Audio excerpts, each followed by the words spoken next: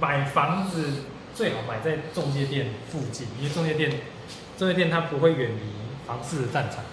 没错，没错，我们买房子绝对要买在有中介的地方中介店越密集的地方，那边的房价也会叠叠叠叠叠上去。哦，你买房子的地方是在看不到中介，或是中介在三公里外，嗯，哦，或是你那个乡镇没有中介，我跟你说，那边的房子很难被叠高叠高。啊所以为什么台中市那个中港路现在叫做台湾大道嘛？台湾大道上的中介可能一百家店，对对？可是你讲中清路跟中港路就有差，对不对？对中清路的店中介店密集可能会少一些，可能八十家。对，但你再找一个，比如说呃大雅大道对，呃往海边去，往无锡去，往往乌日去那边啊，因为那边中介可能就三十家。对，那还有什么地方没中介？很有可能那个很多乡镇是没有中介店的。那为什么中介不开店到那些乡镇去？嗯，中介没事干，干嘛要去平衡城乡差距啊？中介没有平衡城乡差距的义务。哦中介要去找买方很多的，要去找屋主很多的，对，所以中介越多的地方，通常那边的房价会很有支撑。嗯我讲支撑啦，因为我们房价从从疫情到现在是三年，已经狂涨一倍了嘛。对，热门的地方已经涨一倍，但是你会问我说，那台北并没有涨一倍啊？嗯，台北涨多了嘛，它会拉抬一些比较好拉的。哎，就讲股票好了对，你大型股能够在同样的景气下拉一倍吗？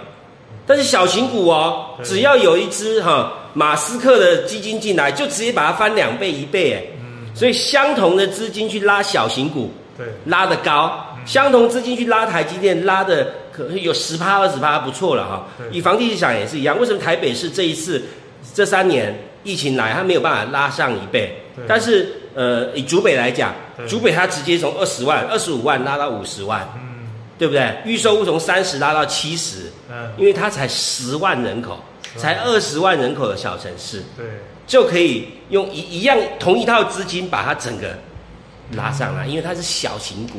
对，然后竹北市门牌的中介店超多，琼林很有可能只有一家、两家中介，新浦两家。对，呃，我是说有品牌，比如说太平洋啊，有潮市啊、台庆啊、永庆这种品牌中介店。对，虎口、新丰，它可能比较密集一点点，可能有两家、三家、四家。对，但是你只要进到竹北市里面啊，一条马路可以有永庆、台庆、有巢市、永义房屋，嗯，还有其他的品牌的，对，对不对？一条马路可以干掉其他新竹县其他乡镇哦。对，哦，其他乡镇加起来十间品牌店，可是一条竹北市最最热闹的光明六路或是文心路，它就十家中介店开在那边了。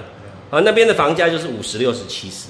哦，啊，所以讲回结论就是啊，嗯，你要买房子，现在要期待大涨，涨一倍不容易，对不对？对，但是你要如何在有限的资金，因为我们就有那么一套资金，我买在哪里能够保值又有增值又有想象空间的？嗯，你就买楼下有中介店那一栋大楼，啊，或是买旁边左右两边可能有三五家中介店，对，你买那一个商圈，我想就没问题。哦，台中市文心路中介店有多少？很多啊，很多啊，竹北市文心路中介店也很多哦。对，所以竹北跟台中你就找文心路买，啊，对，第一个看门牌，这地段嘛。对，中介就是看地段在开店的，所以为什么旁边已经有永庆呢？为什么这又开一个有巢，然后那边又开一个台庆？